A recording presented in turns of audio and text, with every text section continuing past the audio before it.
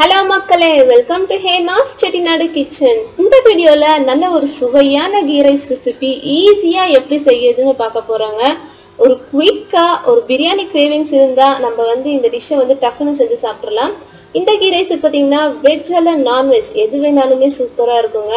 டக்குன்னு வீட்டில் ஒரு முட்டை இருந்தால் ஒரு முட்டை மசால் கூட செஞ்சு சாப்பிட்டோம் அப்படின்னா அவ்வளோ அருமையாக இருக்குங்க. இந்த ரெசிபி வந்து எப்படி செய்யலாம் அப்படின்றத பார்த்துடலாம். வாங்க. கீ ரைஸ் ரெசிபிக்கு தேவையான இன்க்ரீடியன்ஸ் என்னென்னு பார்த்தீங்கன்னா சீரக சம்பா அரிசி கால் கிலோ பட்டை ஒரு இன்ச் ஸ்டார் அனீஸ் ஒன்று மூணு கிராம்பு ஒரு பிரிஞ்சி இலை ஒரு டேபிள் ஸ்பூன் அளவுக்கு சோம்பு. அடுத்து பெரிய வெங்காயம் ஒரு ரெண்டு எடுத்து நல்லா நைஸாக நறுக்கி வச்சுருக்கேன். ஒரு டேபிள் ஸ்பூன் அளவுக்கு இஞ்சி பூண்டு பேஸ்ட் தேவையான அளவு உப்பு.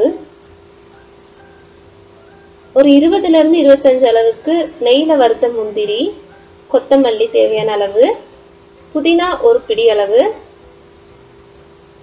பச்சை மிளகா ஒரு நாலு. நெய் ரெண்டு டேபிள் ஸ்பூன். செய்முறை எப்படின்னு பார்த்துடலாம் ஒரு குக்கர் அல்ல அகலமான ஒரு பிரியாணி பாத்திரத்தை எடுத்துக்கோங்க.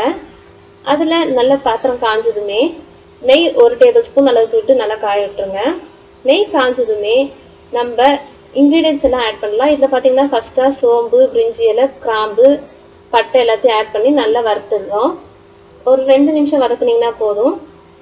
சோம்பு பொன்னரத்துக்கு மாறினதுமே நம்ம நைஸாக நறுக்கி வச்சிருக்கிற வெங்காயத்தை ஆட் பண்ணி நல்லா வதக்கிக்க போகிறோங்க வெங்காயம் ஒரு எட்டுலேருந்து பத்து நிமிஷம் நல்லா வதங்கணுங்க. ஒரு ப்ரௌனிஷாக வரணும். இப்போ இதோடவே நாலு பச்சை மிளகா ஒரு டேபிள் ஸ்பூன் அளவுக்கு இஞ்சி பூண்டு பேஸ்ட் போட்டு நல்லா வதக்கிடுங்க. இஞ்சி பூண்டு பேஸ்டோட பச்சை வாசம் நல்லா போகட்டுங்க.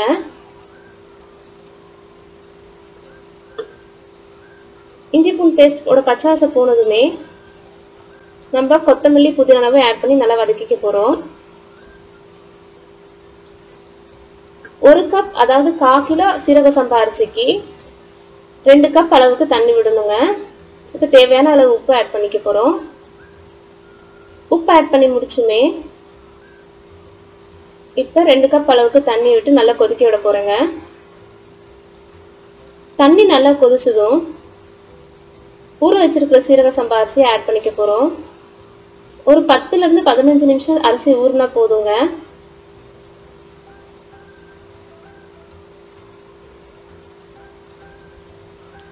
அரிசி ஆட் பண்ணி குக்கரை வந்து நல்ல ஒரு ஹை ஃப்ளேமில் பத்து நிமிஷம் வச்சு எடுத்துட போகிறோங்க பாருங்கள் இப்போ தண்ணியெல்லாம் வத்திடுச்சு. இந்த ஸ்டேஜில் வந்து நம்ம முந்திரி ஆட் பண்ணிக்க போகிறோம் ஆனால் அரிசி வந்து வேகவில்லை.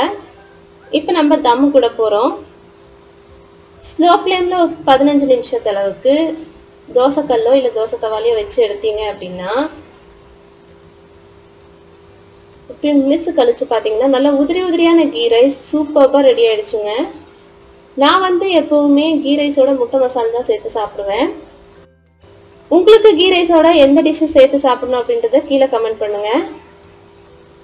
இந்த ரெசிபி பிடிச்சிருந்தா உங்கள் ஃப்ரெண்ட்ஸுக்கு ஷேர் பண்ணிக்கோங்க. தேங்க்யூ ஃபார் வாட்சிங்